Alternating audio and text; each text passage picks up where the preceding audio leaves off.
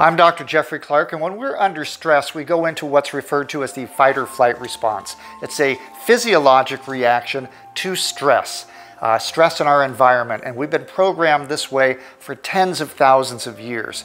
Uh, in that fight or flight response, which is a part of the autonomic nervous system, the autopilot system as I call it, it's from the sympathetic branch. And our heart rate goes up, our blood pressure goes up, blood clotting factors like cholesterol, the bad cholesterol, go up. Uh, our sex drive goes down, our attention deficit, where we just focus on certain things to the extraction of everything else, goes up uh, and our digestion goes down because blood's running away from the internal organs and the viscera and to our extremities so that we can run away or put up our dukes. But there's actually six F's that uh, occur in this fight or flight response. There's actually fight and flight, which uh, is, you know, put up your dukes and, and battle it out or run away. But sometimes we will freeze and just not know what to do. You've heard of the deer in the headlights and fawn. That's where you just kind of kind of kiss up to somebody uh, that's stressing you out. I, I, I, I love you.